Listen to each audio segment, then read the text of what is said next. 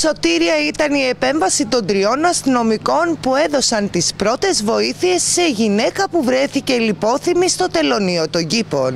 Η ανακοίνωση της Συνδικαλιστικής Ένωσης Αστυνομικών Υπαλλήλων Αλεξανδρούπολης αναφέρει «Το Διοικητικό Συμβούλιο της Συνδικαλιστικής Ένωσης Αστυνομικών Υπαλλήλων Αλεξανδρούπολης εκφράζει δημόσια τα συγχαρητήριά του προς τους συναδέλφους Γκογκινούδη, Ευάγγελο, Κολοκοτρώνη, Ιωάννη και Κολύμπο Θεόδωρο που υπηρετούν στο τμήμα διαβατηριακού ελέγχου κήπων καθώς στις πρωινές ώρες της 30 Δοδεκάτου του 2022 ευρισκόμενοι σε υπηρεσία εντόπισαν γυναίκα η οποία επρόκειτο να ταξιδέψει πεσμένη στο έδωφος χωρίς τις αισθήσεις της. Άμεσα έτρεξαν να τη βοηθήσουν και προέβησαν σε παροχή πρώτων βοηθειών, κάρπα, με αποτέλεσμα η γυναίκα να ανακτήσει τις αισθήσεις της.